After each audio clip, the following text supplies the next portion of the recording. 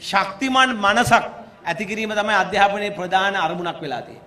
න්‍යායක දැනුම වගේම ප්‍රායෝගික දැනුම වගේම ජීවිතය ජය ගන්න ජීවිතේට මුහුණ දෙන්න අභියෝග වලට මුහුණ දෙන්න ප්‍රශ්න වලට මුහුණ දෙන්න ප්‍රශ්නයක් ආපුවාම එය විසඳන ආකාරය ප්‍රශ්න දිහා බලන ආකාරය මේ ක්‍රීඩාව කිරීමෙන් ඇතුළු මේ බොහෝ දේවල් වලින් වෙනස් කරන්නයි අපිට ඕනකම තියෙන්නේ. ඒ නිසා තමයි අපි ජාතික අධ්‍යාපන ආයතනටත් කිව්වේ මේ ළමයින්ට තියෙන බර අඩු කරන්න ඕන කියලා. මම නම් ආපු දවසේ ඉඳලා කිව්වා. සමහර විෂයන් වලට දරන්න බැරි බරක්. ළමයිට පාසලේ තියා ගෙදර ගිහිල්ලා ඉවර කරගන්න බැරි බරක් තියෙනවා. විෂය මාලාව වැඩි. සමහරට විශ්වවිද්‍යාල ඉගෙන ගන්න ඕනේ ඒවා ටික තියෙනවා මේ සාමාන්‍ය වෙලසා උසස් පෙළ විභාග වල මම දන්නේ නැහැ. මම නම් අධ්‍යාපනඥයෙක් නෙමෙයි.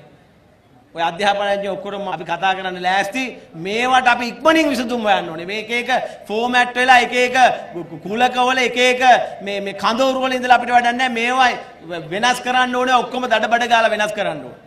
එහෙම නැත්නම් තව අවුරුදු 20කින් 30කින් 40කින් අපේ මේ රටේ ලක්ෂ 45ක් වන දරුවන්ගේ අනාගතයට කවුරුවත් වගකීම බාර ගන්න බෑ.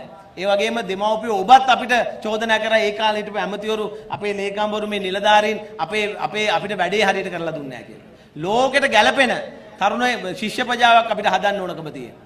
සීමා මායිම් වලට වලින් එහාට ගිය සීමා මායිම් කඩාගෙන ගිහිල්ලා ඉස්සරහට ගිහිල්ලා අපිට හරිම දේ කරන්නයි අපිට ඕනකම තියෙන අධ්‍යාපනය තුලින්.